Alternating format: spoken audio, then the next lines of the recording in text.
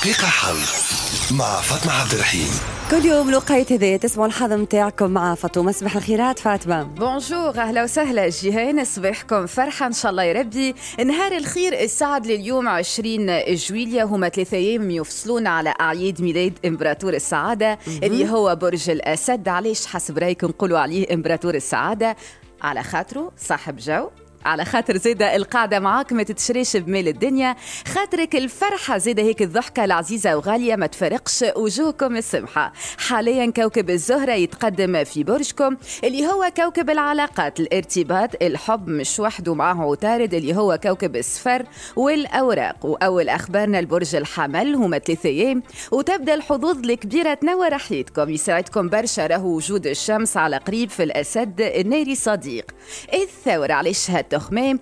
علاش هالأفكار السيئة؟ خليك إيجابي وخلي تفكيرك إيجابي. عكس الجوزاء يوم ممتاز يوم زاد يعدو برشا حظ.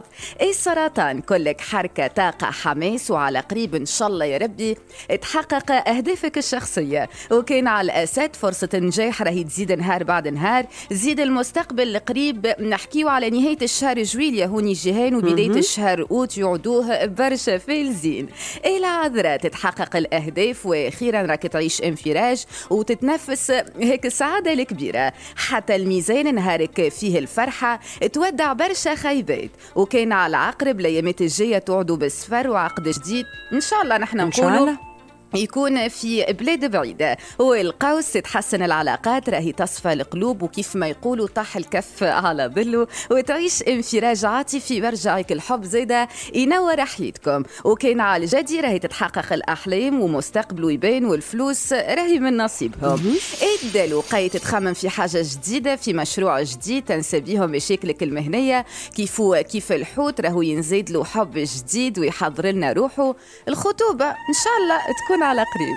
عرس وخطوبة وفلوس اللي عقد وسفر عمل ما فماش اليوم. ما فماش عقد عمل اليوم. لا لا ما فماش. فما فما ال- الحب. فما الحب. فما الأسد. إمبراطور السعادة سميته يس أنا نعرف أسد مكشبري لا لا. مع هما, فاطمة هما, هما الفرحة ال- مواليد برج الأسد. خبيرة ال- الأبراج معنا. فاطمة كيما كل يوم معنا في دقيقة حظ. دقيقة حظ.